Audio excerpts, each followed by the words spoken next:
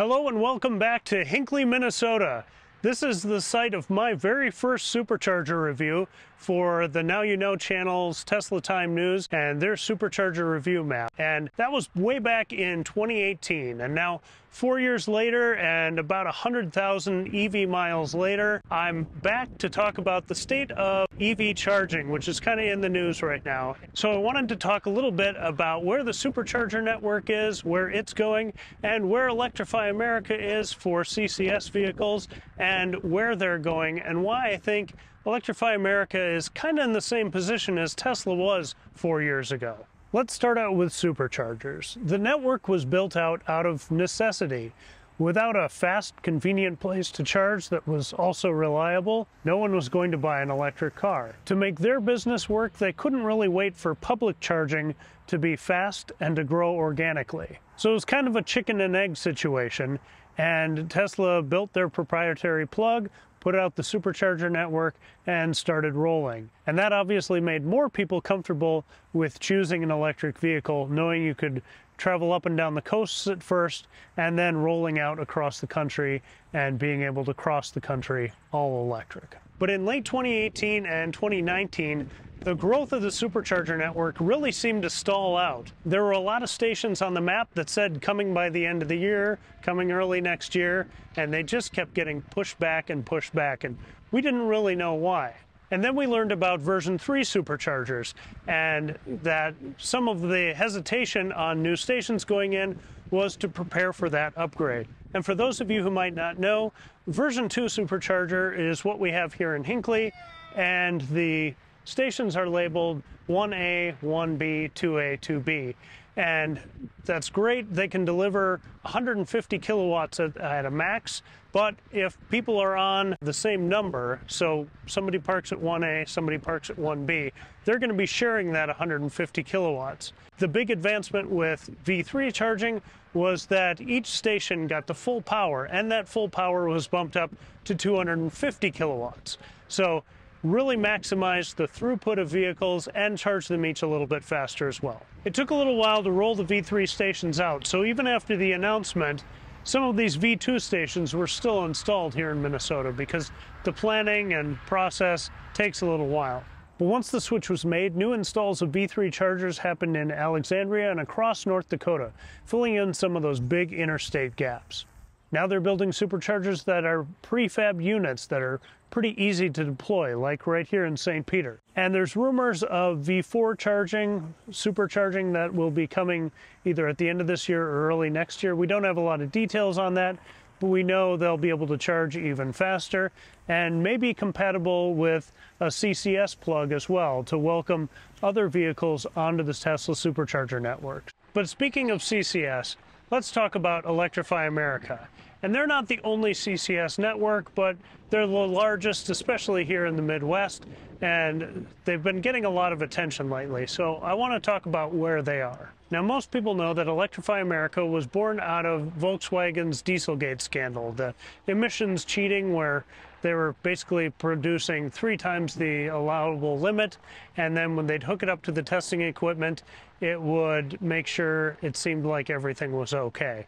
Being born out of that, makes a lot of people question Electrify America's motives. But I do think the people at Electrify America do want to create a good public charging network, but their motives are kind of born out of a different model than what Tesla was, where their necessity was getting charges into the ground by the mandated dates and pulling hardware from wherever they could to get that job done.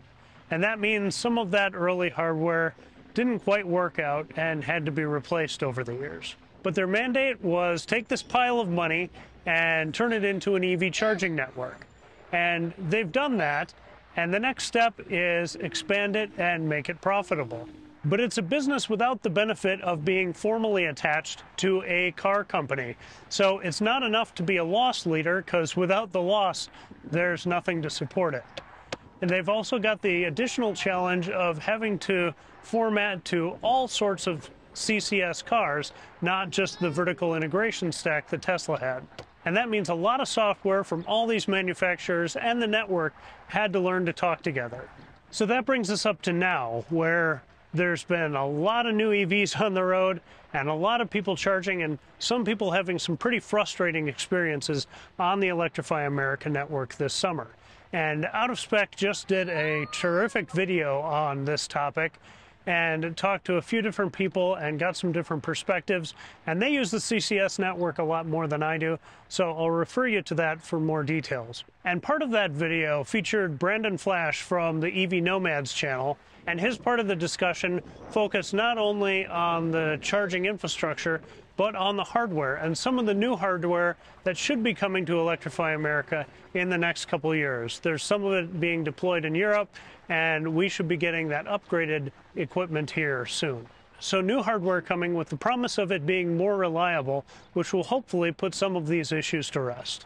So EA finds itself in a position similar to Tesla four years ago, with big expansion plans, but permits for some of the old hardware still to go into the ground. So the optimist says that the issues with the network and the slow rollout of new stations is due to the supply chain issues over the last couple of years and waiting for that new hardware. The pessimist side would say that they don't really care about reliability. Once the station's in the ground, they've fulfilled their mandate, and if people can't charge, they don't really care. And that would mean that the delays in rolling out new stations are just them waiting for more federal money to become available with the new infrastructure law.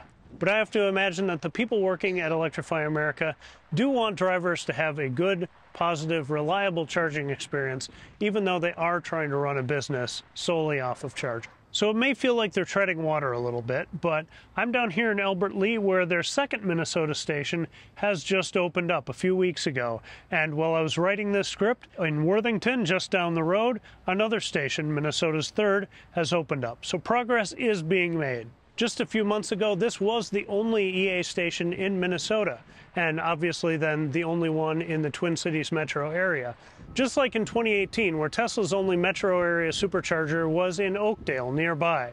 Tesla did have a few more stations outstate, but the growth has been incredible since they hit their stride about mid 2020. And now the major routes are covered and they're filling in gaps in more rural areas and secondary routes. Now, permitting and construction takes time, so changes don't happen overnight.